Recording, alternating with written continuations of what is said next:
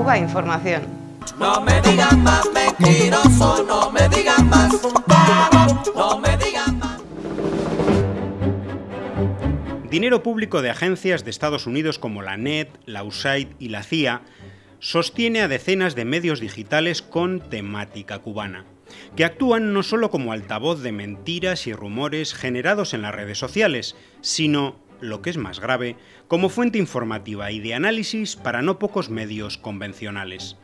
Repasemos algunos hitos de las últimas semanas en el marco de la crisis por el coronavirus. Hace unos días leíamos notas sobre dos supuestos cadáveres abandonados en Cuba, que trataban de trasladar a la isla el escenario de caos vivido en países como Ecuador, con centenares de cuerpos de fallecidos por COVID-19 en sus calles. Los sucesos de Cuba fueron realmente fake news. El primero, una muerte por hipoglucemia sin relación alguna con el coronavirus. El segundo, un puro montaje sin siquiera cadáver. La persona que supuestamente yacía muerta en la calle, tras prestarse a la sesión de fotos, resucitó y desapareció del lugar. En Estados Unidos, con medidas tibias y tardías de contención de la pandemia, se da la mayor cifra de muertes del mundo. En Cuba, con políticas preventivas y de decidida acción pública sanitaria, el número de personas fallecidas es mil veces menor. ¿Pero qué sistema sanitario creen que está en crisis? Nos lo aclaraba CNN es en Cuba donde el sistema de salud está colapsado y donde su personal no tiene medidas de protección. Lo explicaba quien mejor, Luz Escobar, de 14 y medio, uno de los sitios web apadrinados desde Estados Unidos. El diario español ABC hablaba de un sistema de salud, el cubano, sostenido más sobre el discurso político del régimen que en la eficacia de sus estructuras. ¿Quién lo escribía?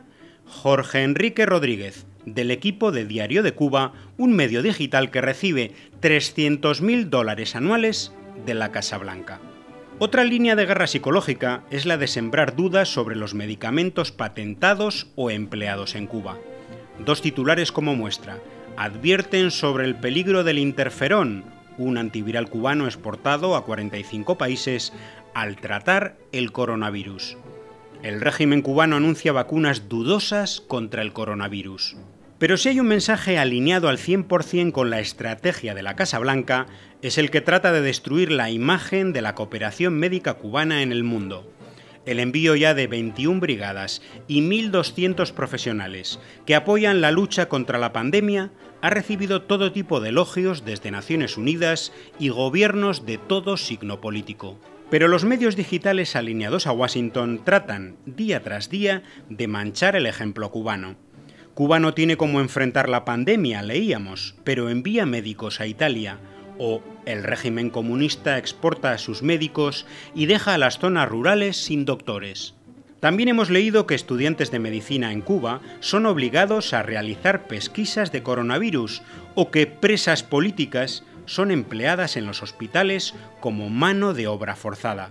Son tantos los disparates, las mentiras, las patrañas y los agravios que es difícil hacer una selección.